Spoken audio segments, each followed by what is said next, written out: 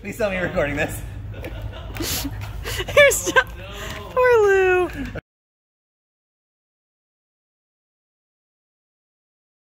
Hi, I'm Brian from iWire, and we're going to introduce our brand new 2-liter WRX and STI harness for DIY applications, or if you're going to do a merge, you should buy this. So every kit, if you're doing it for the DIY, is going to come with harness basic instructions. So this is good for Subaru race car, Porsche, Bug, Vanagon, gives you the approximate location of where the ECU would go and how it would reach. And then you also get the diagrams for this particular harness. Now let's pull it out of the box.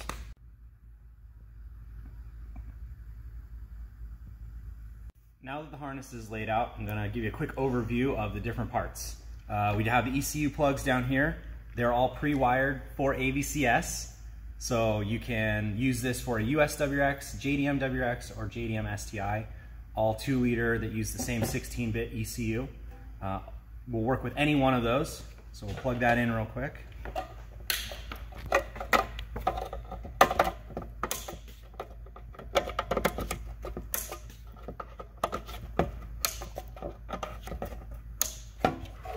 What you have here are the empty leads that you're gonna hook up. Depending on your application, you will hook up some, but maybe not all.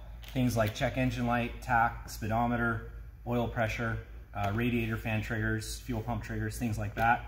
Once we get over here, we have our first set of engine plugs. Rear O2, front O2, cam crank knock, MAF, boost, EGT if you have it.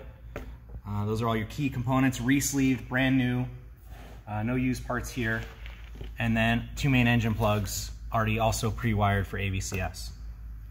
This would be a great option if you have a VW uh, that's doing a Subaru swap or a Porsche kit car, Porsche, a kit car, a sandrail, pretty much any project, even a Subaru race car uh, that uses this engine as its application. Um, the other reason that we have made these probably equally important is for all our merge customers. No longer do you have to go buy the, J, the JDM harness that you didn't get with your JDM engine or tear apart the WRX donor car, you can just buy ours, ship your harness, and we'll take care of the rest. Uh, instead of having to use something old and beat up, you got something brand new and it's pre-wired for AVCS. So if you start with a US WRX and sometime in the future, go to JDM WRX or STI, plug and play, and you're just ready to go. So this would be compatible with any plug and play standalone ECU designed for 2 liter WRX. The two big ones that come to mind are both Link and Haltech. They make plug and play. Link is a direct plug and play. Haltech will use a jumper, but either one would work great if you decided that you didn't want to use a stock ECU for some reason. And the last thing to note is that we actually will be coming out with some more complete solutions for this. So if you have a race car, uh, Subaru race car, we'll actually have a pre-built fuse box that will be plug and play with this simply hook up power, ground, fuel pump, radiator fans, and you're driving. And as always, if you have any questions or comments about our new harness, uh, comment in the section below.